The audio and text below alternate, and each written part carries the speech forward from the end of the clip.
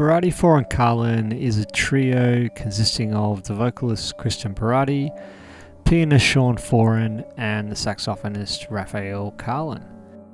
We formed in 2014. We'd known each other for many years actually, and we had a few gigs together in Brisbane and, and put the group together because it just seemed like a really interesting combination of instruments and we wanted to keep making music together that uh, was kind of different to some of our other projects.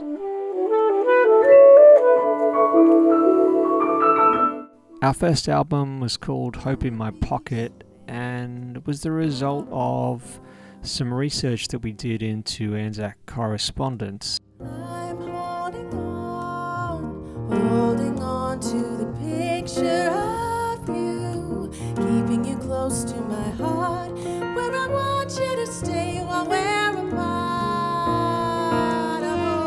songs were written kind of drawn on themes that we found in Anzac letters that we researched at the State Archives in Queensland.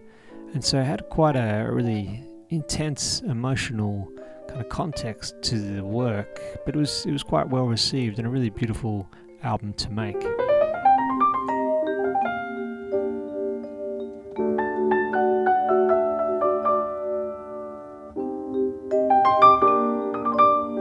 For our latest album, um, Haven, we teamed up with the amazing vibraphone player Pascal Schumacher from Luxembourg. He's an outstanding performer and lovely person, so we're very, very excited to work with him.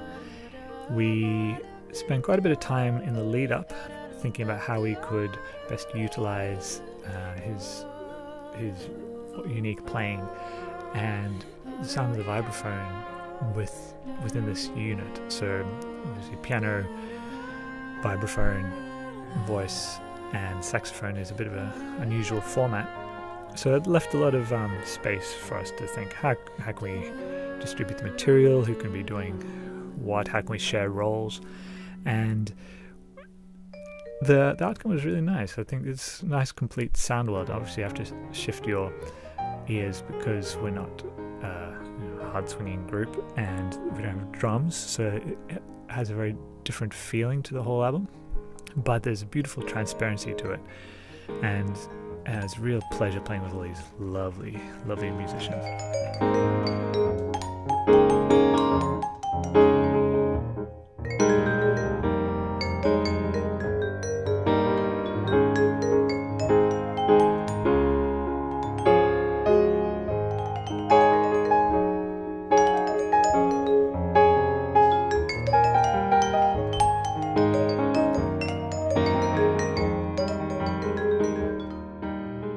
Approached Pascal and he was into it. He was really keen, and um, I think that makes a really big difference when you're trying to do a project, just in general, but also something like this where you're not in close proximity.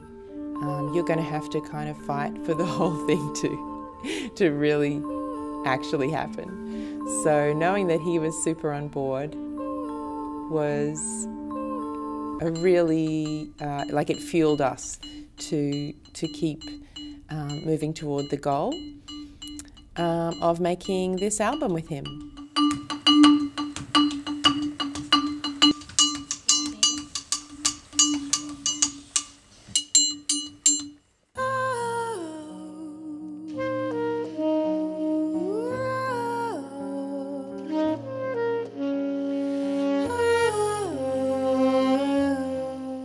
Each piece has a really distinctive mood and explores uh, specific melodic or harmonic environments which are thoroughly explored and everyone was able to slot into those moods really really easily. It's a luxury being able to bring in something with you know, quite dense harmony and um, all the performers could put it together really quickly and find their the voice inside some thorny or or um, quite dense and dark chords.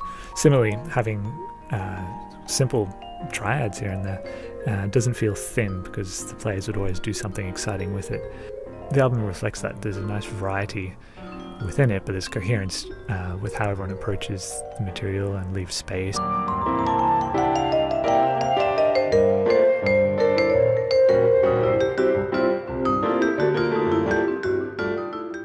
So, this album was recorded in 2017, which is a shock to all of us when we think about it. We uh, had this whirlwind time with Pascal. He came out here, we recorded, then we did a national tour here in Australia.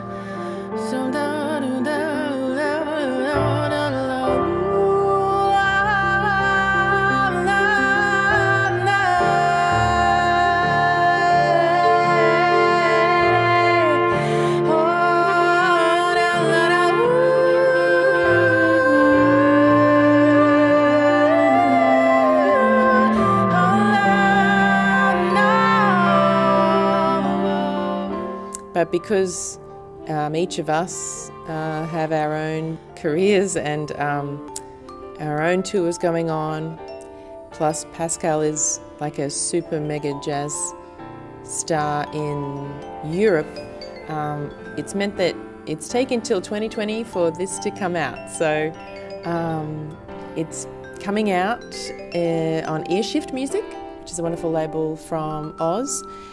And we have scorebooks, which we did for our last album, and people seem to really dig, so we thought we'd do that again. And we have CDs, and we're really excited about how this album sounds as well.